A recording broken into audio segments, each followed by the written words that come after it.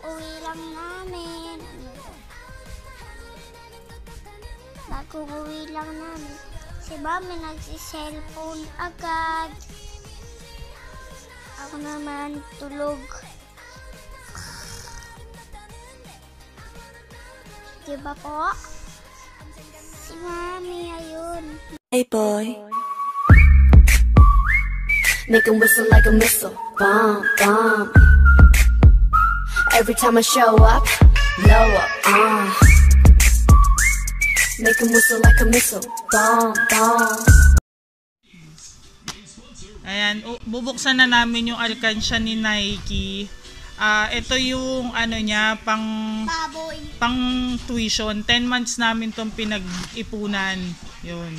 Hindi man ganon kalaki, kagaya na nakikita natin sa sa FB. Pero kung gusto mo talagang mag-ipon, maka ano, tawag dito parang pipilitin mo. Tapos, um, ang tawag dito, wala yun kung mahirap ka, kung mayaman.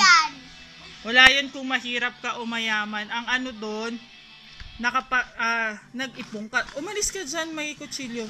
Ang ano doon, nakapag-ipong ka. Ganun. Ang Dali. Ito yung, ayan, ito yung lahat nung ano, na, naipon namin kay, sa ano pang tuition ni Nike sa loob ng 10 buwan. Bibilangin na namin. Wait lang. Yan, labas na natin isa-isa. Yan, tagwa 100 siya. Ang, Nike, ka dyan madilim. Ang ginagawa namin, every, sa, every sahod ni daddy, ano, um, naglalagay kami dito, sa pang tuition niya. Kahit maliit o malaki yung sahod niya, required kaming mag, maglagay dito sa ano, sa alkansya ni, ni Nike dahil nga pang tuition niya to. Yan. Magkano kaya abutin nito? So, yun, bibilangin ko na kung magkano yung naipon namin na sa loob ng 10 buwan. Yung ipon challenge for uh, tuition ni Nike talaga. Pero talagang inon namin to. Ayan. Inipon namin. Hindi siya ganong karami katulad nung sa iba na talagang limpak-limpak yung perang naiipon nila. Pero ano, every talaga every sahod ni Daddy um we make sure na ano, yung ano, ang tawag doon, yung naghuhulog kami sa alkansya kahit magkano, basta kailangan makapaghulog kami para hindi rin kami mahirapan, di ba? Ganon yun. So, napakainit. Tapos ito, kasi mag-graduation na siya, tapos hahanap namin siya ng school, at least alam namin kung magkano yung perang meron kami, at saka para na no, para alam namin kung magkano yung idadagdag namin dun sa pang tuition niya. So, yan, simulan na natin. Nike, tabi mo yung mga coins. Natatabi ni Nike yung mga coins. Ayan o. Ayan. So, ayan. Nagtitiklop kasi ako ng damit ngayon. So, bilangin na natin siya. Ayan. One. One. Two. Three. Four. Five. Six. Seven. Eight. Nine. Ten. Eleven. Twelve. Thirteen. Fourteen.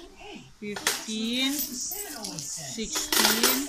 Seventeen. Eighteen. Nineteen. Twenty. Twenty-one. Twenty-two. 23, 24, 25, 30. Kasi 500. 30. 31, 32, 33, 34, 35, 36, 37, 38, 39, 40, 41, 42, 43, 44, 45,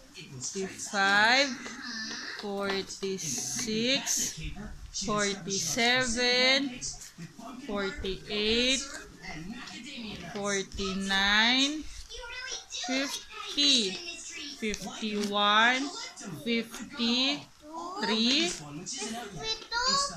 54, 55, 56, 57. So, lahat-lahat, yung, hindi na namin sinama yung coins.